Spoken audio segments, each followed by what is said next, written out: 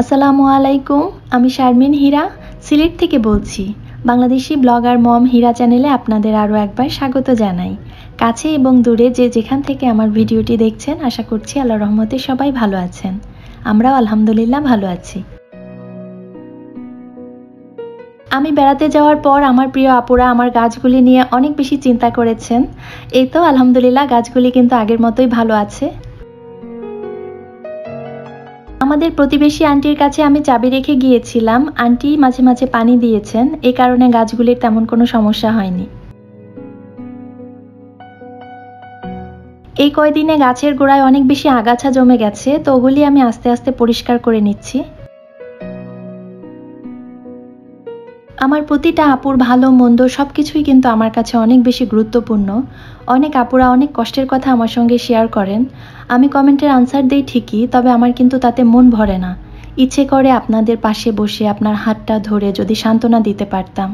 কিন্তু আফসোস, এটা আমার পক্ষে তো সম্ভব না। তো এর জন্য ভাবলাম আমার ওই কষ্ট পাওয়া আপুদের উদ্দেশ্যে আজ কিছু কথা বলি। হয়তো বা আপনাদের একটু হলেও উপকারে আসবে।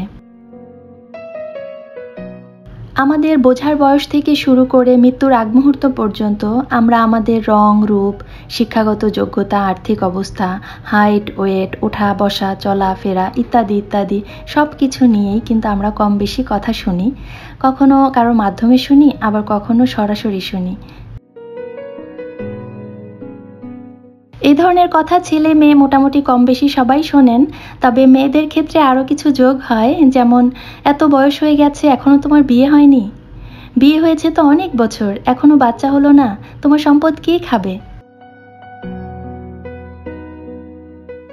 এখানেই শেষ না, হলো তো হলো এক গাদা মেয়ে, মেয়ের পর ছেলে হয়েছে ঠিকই, এত দুষ্টু হয়েছে, বাকি জীবন একে নিয়ে তো তোমার কাঁদতেই হবে। যেখানে ভাগ্য নির্ধারণ করার মালিক স্বয়ং সৃষ্টিকর্তা, সেখানে আমাদের ভাগ্য নির্ধারণ করেন কারা? আমাদের প্রিয়জন। এই ধরনের জাজমেন্ট শুনে আমরা কি করি? ঘরের কোনায় বসে রাগে, দুঃখে, ক্ষোভে, কষ্টে, অপমানের জ্বালায় শুধু কান্না করি। কেউ কেউ এই কষ্ট থেকে কোনো এক সময় বেরিয়ে আসেন, আবার কেউ কেউ সারাটা জীবন এর ভেতরেই থেকে যান।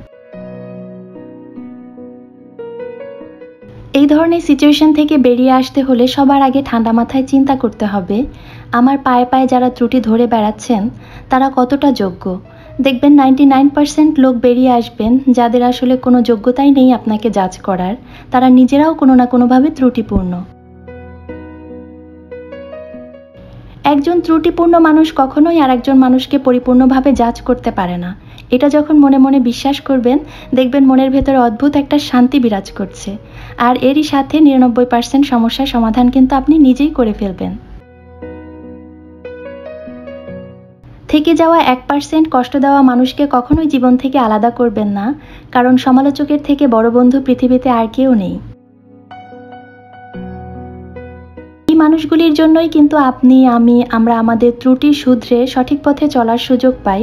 তো দেখতে হবে সমালোচনা গঠনমূলক কি না যদি না হয়, তাহলে পাছে লোকে কিছু বলে মনে করে পেছনে ফেলে রেখে সামনে নিজের লক্ষ্যের দিকে ছুটে চলতে হবে।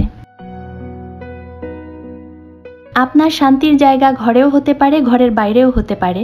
যেখানেই হোক, একলা চলরের নীতি নিয়ে শান্তির খোঁজে চলতে থাকবেন। দেখবেন এই চলার পথে হাজারো ভালো মানুষ পাবেন। যারা আপনি এক কদম চলবেন, আপনাকে দশ কদম এগিয়ে নিয়ে যাবে। অতীতে কি হয়েছিল, ভবিষ্যতে কি হবে, এসব চিন্তা না করে বর্তমানে চলতে থাকা প্রত্যেকটা মুহূর্তকে আনন্দের সাথে উপভোগ করবেন। যে কোনো নেগেটিভ চিন্তাকে পজিটিভ চিন্তা দিয়ে আমরা যদি জয় করে নিতে পারি, তাহলে কিন্তু জীবনটা আসলেই অনেক সুন্দর হয়ে যাবে। আমার ক্ষুদ্র জ্ঞান আর বাস্তব অভিজ্ঞতা থেকে বুঝতে পেরেছি, মনের শান্তি কেউ কাউকে কখনো দিতে পারে না। এটা নিজেকেই অর্জন করে নিতে হয়। আমার যে আপুরা অনেক বেশি কষ্টের সাথে কমেন্ট করেছিলেন, আমি জানি না আপুরা আমার ভিডিওটা দেখছেন কি না যদি দেখে থাকেন, তো আপনাদের উদ্দেশ্যে আর একটা কথা বলব। প্লিজ হতাশ হবেন না। জীবনে দুঃখের পর সুখ আসবে, এই বিশ্বাস রাখবেন আর আল্লাহর উপর পরিপূর্ণ আস্থা রাখবেন। দেখবেন ইনশাল্লাহ একদিন সব কিছু ঠিক হয়ে গেছে। আর যদি সব কিছু ঠিক না হয়, তো মনে করবেন পিকচার আবি বাকি হে মেরে দোস্ত। এই কথাটা তো শুনেছেন, তাই না? এই মজার কথাটাকেই উপলব্ধি করবেন। আপনাদের সঙ্গে তো বলা হয়নি, নূরের স্কুল খুলে যাবে, এটা শুনেই কিন্তু আমরা বাড়ি থেকে ঝটপট বেরিয়ে এসেছি। আর এসেই নিজেদের মতো প্রত্যেকেই ব্যস্ত হয়ে পড়েছি। অনেক দিন পর নূর আজ স্কুলে জয়েন করবে, তো এর জন্য ও ব্যাগটা গুছিয়ে নিচ্ছে।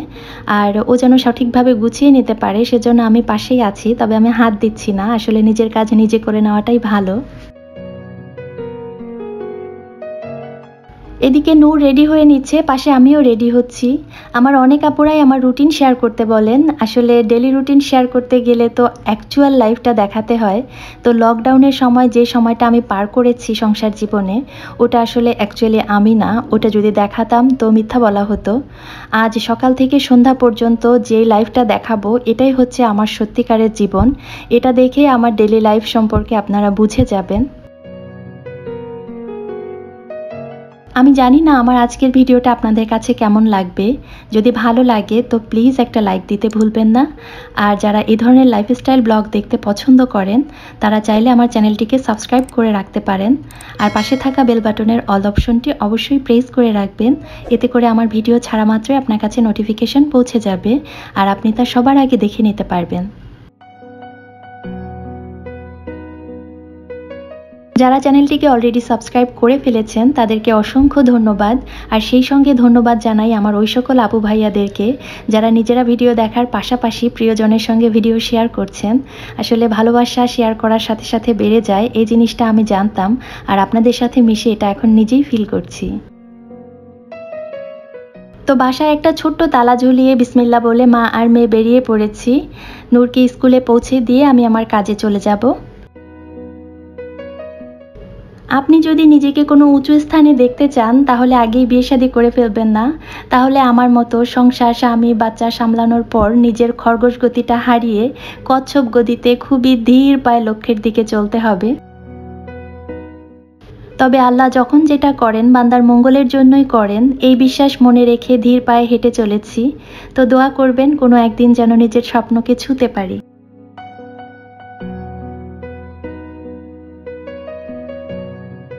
এখন আমরা বাসায় চলে এসেছি। মা, মেয়ে দুজনেই হালকা পাতলা কিছু খেয়ে নিয়েছি। নূর খেলাধুলায় ব্যস্ত হয়ে পড়েছে আর আমি আমার রান্নাবান্নার কাজে চলে যাব। স্কুল খুলে গেছে, নূরকে তো টিফিন দিতে হবে। নূর আবার মেয়নিজ দিয়ে বানানো খাবারটা খুব পছন্দ করে। আর এ ধরনের খাবার বানানো আমার জন্য খুব সহজ হয়। এর জন্য আনিয়ে নিয়েছি। লকডাউনের সময় অনলাইনে কেনাকাটা করে এমন একটা অভ্যাস হয়ে গেছে, এখন আর অভ্যাসটা ছাড়তে পারছি না। কোনো কিছু প্রয়োজন হলে চট করে অর্ডার করে ফেলি। আসলে লাইফটা অনেক ইজি হয়ে গেছে। অনেক আপুরা জানতে চান, আমি কোন মেয়নিজটা ব্যবহার করি? এটা নেপলস তবে আমি কোনো একক ব্র্যান্ডের ফ্যান নই। যখন যেটা ভালো লাগে তখন সেটা ব্যবহার করি। এখন এটা আনিয়ে নিয়েছি, পরে যখন অন্য কিছু আনব তখনও ইনশাল্লাহ আপনাদের সঙ্গে শেয়ার করব।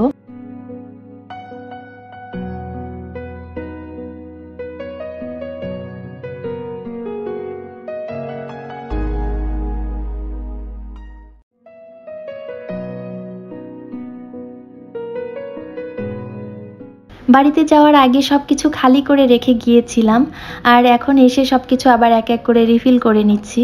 কোথাও গেলে আমার একটা সমস্যা হয়, বাসায় ফিরে নিজের সংসারে কাজকর্ম করার ক্ষেত্রেই তালগোল পাকিয়ে ফেলি, কোনটা রেখে কোনটা করব বুঝতে পারি না।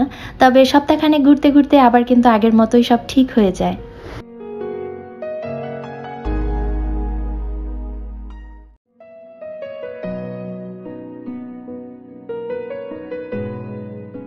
এই ছোট বাটিগুলির কিন্তু আলাদা আলাদা ঢাকনা আছে। ব্যবহারের সুবিধার্থে ওগুলি সরিয়ে রেখেছি।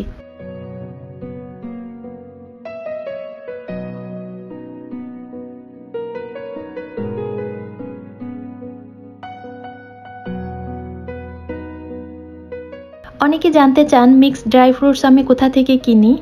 এগুলি আমি অনেক সময় অনলাইনে অর্ডার করি, আবার কখনো কখনো বন্দরবাজার সিলেট থেকেও কিনি। তবে এটা আমি ঢাকা থেকে আনিয়েছি। নূরের বাবা কিছুদিন আগে অফিসিয়াল ট্রেনিংয়ে ঢাকায় গিয়েছিলেন। তো ঢাকা নিউ মার্কেটে আপনারা এটা পেয়ে যাবেন।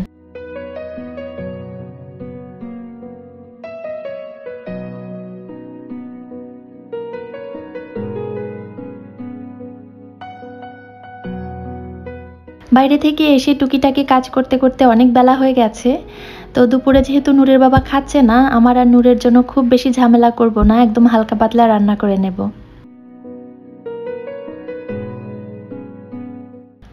আজ ইলিশ মাছ আর বেগুন ভাজা করব, তো দুইটা একসাথেই নিয়ে নিয়েছি। এর মধ্যে হলুদের গুঁড়া, মরিচের গুঁড়া আর লবণ পরিমাণ মতো দিয়ে ভালোভাবে মাখিয়ে কিছু সময়ের জন্য রেখে দিচ্ছি। আর যতক্ষণ সময় এটা ম্যারিনেট হচ্ছে, ততক্ষণে আমি ডালটা বাগার দিয়ে ফেলি।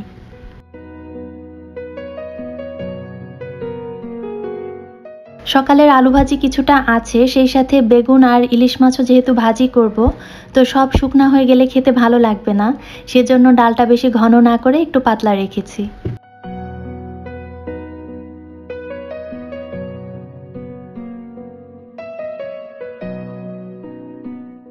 সরিষার তেল, ইলিশ আর বেগুন এই তিনটা একসাথে দেখলেই আমরা যারা দক্ষিণাঞ্চলের মানুষ আছি, তাদের সবার আগে মাওয়াঘাটের ইলিশের কথাই মনে পড়ে যায়।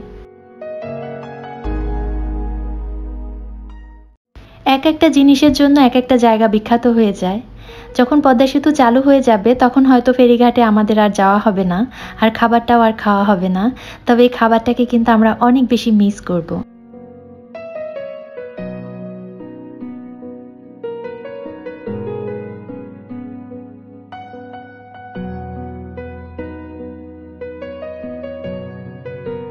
এ ধরনের খাবার গরম গরম খেতেই ভালো লাগে। তো আমরা গোসল করে নামাজ পড়ে আসতে আসতে অনেকটাই ঠান্ডা হয়ে গেছে। তারপরও যা খেয়েছি, আলহামদুলিল্লাহ।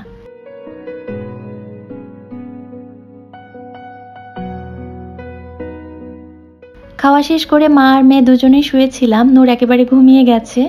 আমি কিছু সময় বিশ্রাম নিয়ে নিজের কাজে আবার ব্যস্ত হয়ে পড়েছি। কিছু পেতে হলে কিছু ছাড় দিতে হয়, এটা কিন্তু চরম সত্যি। আমি আমার দুপুরের ঘুম বিসর্জন দিয়ে আপনাদেরকে পেয়েছি।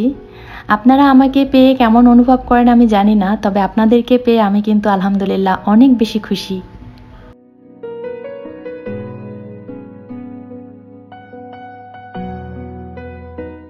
এখন সন্ধ্যা হয়ে গেছে, নূরকে নাস্তা করিয়ে দিয়েছি। একটু পর নূরের আরবে মিস আসবে, তো এর জন্য ওকে রেডি করে নিচ্ছি। আমার একজন আন্টি জানতে চেয়েছিলেন নূর আরবি কতটুকু পড়া শিখেছে। আন্টি, ও সমস্ত যুক্তাক্ষর আলহামদুলিল্লাহ শিখে গেছে, আর সেই সাথে নামাজের যত সুরা দরকার এবং দোয়া দুরুদ যা পাঠ করা দরকার, আলহামদুলিল্লাহ কোনো সাহায্য ছাড়া একাই পাচক্ত নামাজ পড়তে পারে। নূরের মিস এখন ওকে রিডিং পড়ানোর পাশাপাশি কোরআনের গুরুত্বপূর্ণ আয়াতগুলি মুখস্থ করাচ্ছেন। তো দোয়া করবেন নূরের জন্য, আর আপনাদের জন্য অনেক বেশি দোয়া রইল। আজ ভিডিওটা এখানেই শেষ করছি। আল্লাহ হাফিজ। আসসালামু আলাইকুম।